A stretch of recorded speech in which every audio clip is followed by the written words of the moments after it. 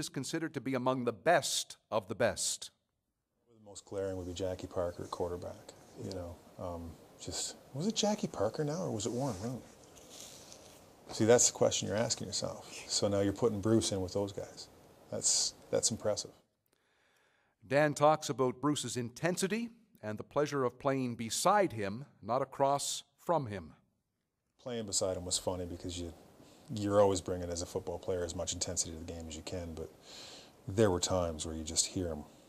You know, you're in a huddle. Was, I'd be standing here in a huddle, and he'd be standing right right behind me watching. You know, so we're waiting for the quarterback, and I just hear him mumbling to himself. He's like, "Physical, got to get physical, got to get physical," and you knew that this is a very intellectual man who just really, really prides himself on how, you know, he's he's smart and he'll, he goes through problems and he really takes things apart and he really makes decisions, great decisions on not only how he plays football but how he runs his life. And you know him that way, but you also know that you're just really glad you're not the other guy because he's you've played beside him long enough to know what he can do. And that physical guy beside you, you know, like I said before, raises your game, but it also it's just it's good to have that guy on your side he was fairly quiet. I mean, when it came game time, he was he was pretty focused. Um, you know, he, he didn't say much. You could you could tell, um, you know, that he was kind of you know building building up some some angriness inside of him, and didn't say much about it. But off the field, I mean, he he was a pretty easygoing guy. I mean, he he laughed, he joked. Um, you know, was was pretty pretty laid back. But once you once you saw him in the locker room before the game and out on the field, you could just see in his eyes that he was ready to go. We have a bit of film of Bruce Beaton in action. Offensive linemen are sometimes a bit anonymous, so watch for number 62 in Edmonton, green and white, and watch the intensity he displays on each and every play.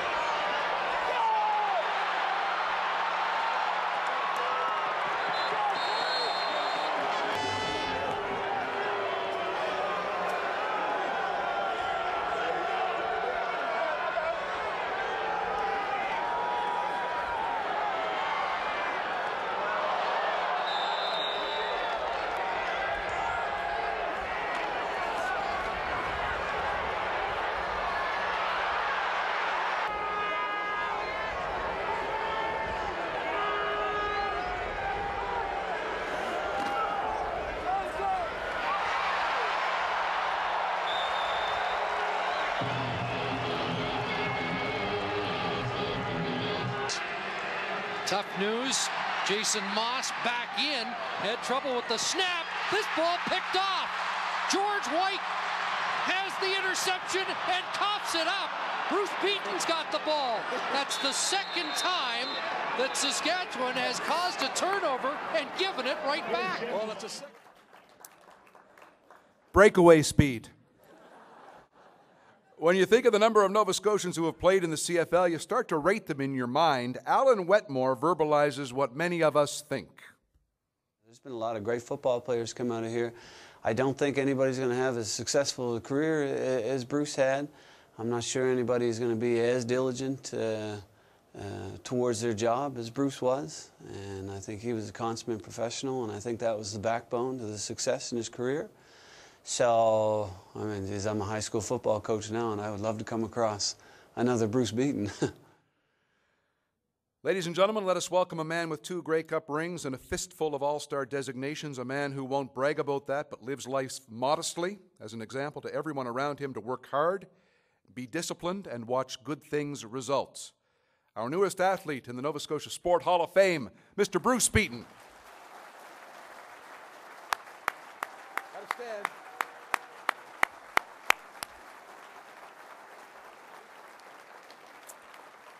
To present The certificate, we welcome Patricia Van Zutphen of the Port Hood Development Area Society.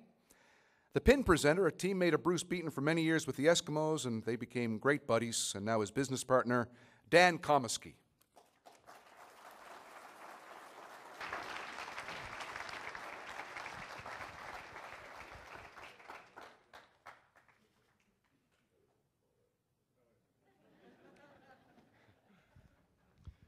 So when Ed, Ed Hervey said that you'd occasionally do things outside the rules, he, he was just kidding, right? Well, I could show you something now if you want. No, may, maybe after the show. Um, Bruce, you had such a, a wonderful run, and you hear players and ex teammates talk about you glowingly. When you look back, what's a, a highlight or two for you? Uh, just getting to play with the guys I played with. I mean, uh, you know, the people that you saw, Alan Wetmore, uh, certainly Jamie Pepper, uh, Danny Laramie, Ryan Carey. I mean, we did have an outstanding group of people in university, and then uh, and then when I went on to the pro level, um, you know, Dan Comiskey was unbelievable to play with. You know, Mark Dixon. I mean, all those people taught me things, right? Whether it was stuff about how to train, how to take care of yourself, nutrition. Uh, and it, and, and it all mattered, and it, it's, it's the reason I'm here today. So. Every year you played pro, you came home to train in the off season, and when you retired as a pro, you came home here to, to live. Was that ever in question? No, no. I, um, I mean, I grew up in Cape Breton, and uh, from the first time I drove into the valley, I just, uh, you know, was astounded how how beautiful it was. I mean, I grew up on a farm, so I had a great appreciation for for just how beautiful it was there, and and so this way I get to live relatively close to my family, and uh, I met a beautiful girl in university, uh, my wife Michelle, and, and we got married, and we're raising a family in, in Nova Scotia. So, yeah, it was never it was never anything but Nova Scotia. And then I also, like I said, some of the friends that I had met in university that really understood training and nutrition and all that sort of stuff at a world class level. They, they had a huge impact on my career. Um, you know, Alan Wetmore, training with him, playing with him. Uh, Ryan Carey is another guy I played with and who lived in Nova Scotia. And certainly Jamie Peppard was the biggest influence on all of us and, and, and still is to some degree. He's the owner of that gym that we, we still train in. So that was a, uh, Dan's right about the fact that that was a huge competitive advantage for us, which is, which is funny because, you know, usually in, in Nova Scotia you don't have as good a resources. But I, I felt like I had a real advantage on everyone in the league. You mentioned your love for Nova Scotia and the fact you always came back, and you've won a lot, a couple of Grey Cups and several All Star selections. But what does it mean to you to be a member of this particular Hall of Fame? It means a lot to me, mostly because of who's in the Hall of Fame.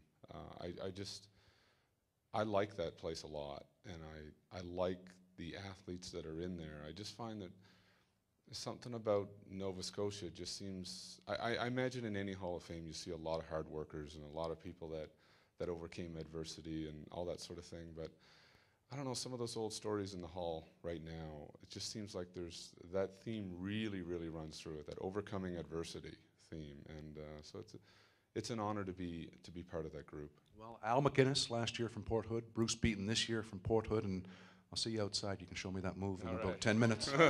Bruce Beaton, folks. Thanks.